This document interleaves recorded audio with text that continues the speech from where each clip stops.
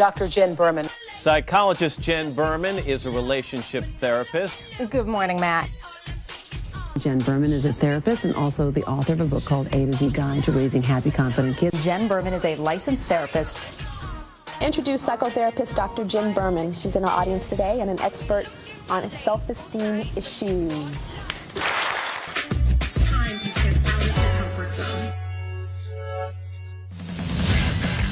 Couple checking in today are Juan Pablo Galavis and Nikki Ferrell, who met on ABC's hit reality show, The Bachelor.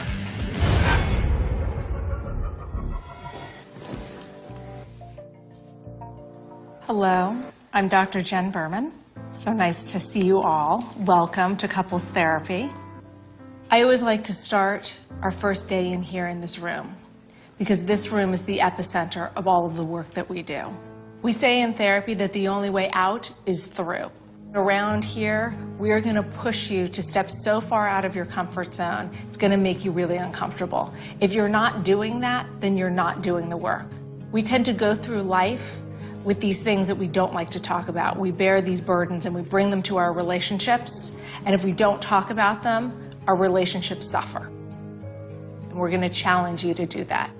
It's what you have to do to heal your relationship. I have tremendous respect for the work that you do. So I want to start by saying thank you. And I'm really honored to be here to get to talk to you. And I'm hoping that as I speak to you today, that the information that I give you will make your lives a little easier, will make your work a little more conflict free, and will make your jobs a little better. There are typically five things that prevent us from really hearing the other person. The first is anxiety. Oh my God, I might lose my job. They might reduce my hours. They might be planning to, to hire someone else. So it can be really scary and hard to listen and to have a really effective conversation. The other thing that can really affect you is anger and we all have it. And I know as ladies, we're kind of taught by society, oh, we're not supposed to be angry. It's okay to cry, but it's not okay to be pissed. But we get angry. And especially when we suppress those emotions, that's when they kind of bite us in the butt the most. And if you are having that experience, I can't believe she talked to me that way, it makes it really hard to be present and to hear what's happening and to have actually a productive conversation. Come, come close. This is a little fiction here. Yeah, I told you fiction. I, I told you I needed a good actress. You're, okay. you're my good actress, okay? You ready? Okay. okay. tell her all about why this is important to you and your family. Um, I've done a lot of research on this, and I've read a lot of articles. And I have a guru that I just know when I read what she says, that's what I do. And I've talked to my neighbors, and I've talked to my sister in law, and I've talked to my mother, and we all think that this is the way it should be done. All of us. okay, come on up. this is where I'm still doing it a year later. I think you are. okay, now tell me what you actually want to say. No one else will know. Just tell me what, what's going through your mind that you're not going to say. Yeah. uh, at first, I thought like you're crazy. Like, yeah. exactly. The other thing, and this is kind of not talked about that much, is shame. That sometimes we do something and again, all of you are professionals, but we all have a bad day. We all have a time where, well, I cut a little corner, or I knew I should have done this, but just too tired. I just did that, and we get caught. And typically, when that happens, we feel shame. And that shame can get in the way of us, again, having a conversation where we hear the other person and where we're able to participate in a meaningful way. Then, last but not least, getting triggered. Sometimes we have a conversation where someone triggers something old in us. Maybe your boss talked to you the way your mom talked to you.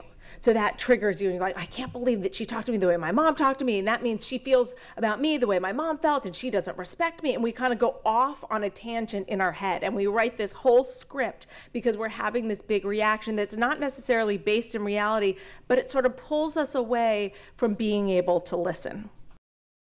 I want to start by talking about listening. I'll never forget when I was a new clinician. I was, in order to become a therapist, you have to do 3,000 hours under supervision, where you go to clinics and you work with people in, in a clinic setting, and your supervisor meets with you before you go in with clients and afterwards and supervises you. And so before I went into my first session, you know, you're all real nervous and you don't know what to expect, and you think that you have to kind of solve the world. That like whatever happens in the session, I have to have the answers to everything.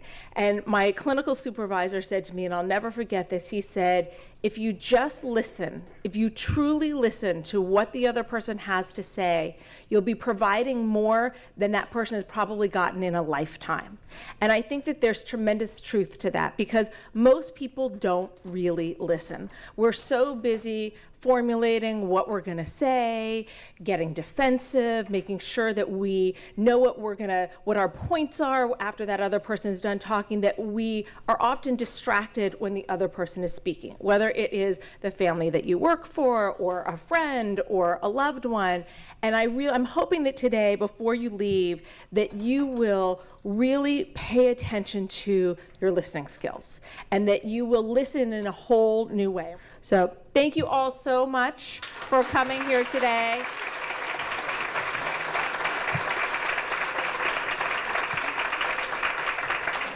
And again, thank you all so much for the amazing, amazing work you do. I don't know how you do it, but I am so indebted to all of you and so grateful. Thank you.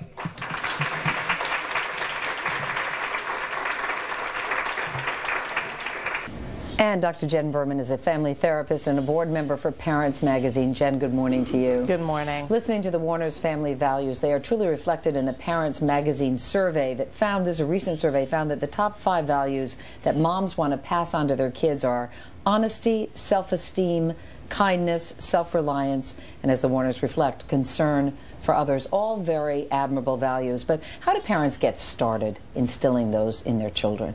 Well, the, the qualities that you mentioned are really the building blocks for a decent moral society. And 70% of the parents polled in the Parents Magazine survey said that they want to instill self esteem in their kids. And what most parents don't realize is that in order to do that, they need to create kids who have a sense that they can give back. That family is a perfect example because those kids know that they can make a difference. And that is really the basis for values and self esteem.